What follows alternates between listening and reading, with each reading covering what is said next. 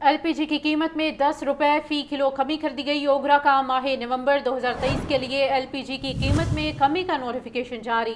LPG की कीमत दो सौ इकसठ रुपये फ़ी किलो से कम होकर दो सौ इक्यावन रुपये फ़ी किलो मुकर तफसी जान लेते हैं। फ़हाद अमीन से फ़हाद अमीन बताएगा एलपीजी की कीमत में दस रुपये फ़ी किलो कमी कर दी गई है।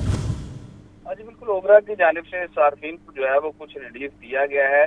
एलपीजी की कीमत जो है, उसकी कीमत में दस रुपए फ़ी किलो जो है वो कमी कर दी गई है ओबरा ने माह नवंबर 2023 के लिए जो है वो एलपीजी की कीमत में कमी का नोटिफिकेशन भी जारी कर दिया है।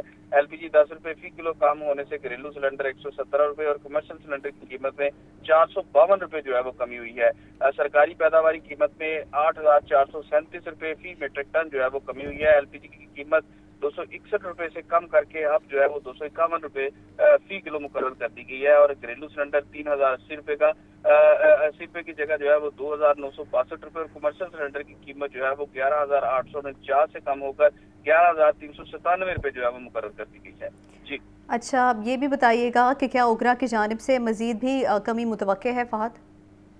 जी बिल्कुल हर माह जो है वो ओगरा की जानब से एलपीजी की कीमत जो है वो मुकर की जाती है और इस माह दस रुपए फ़ी किलो कभी कर दी गई है। अगले माह जो है वो ताहाल उगरा की जाने से जो है वो इस कीमत में कमी का या इजाफे का इंदिया नहीं दिया गया। ठीक है, फाहद अपडेट कर रहे थे, बहुत शुक्रिया।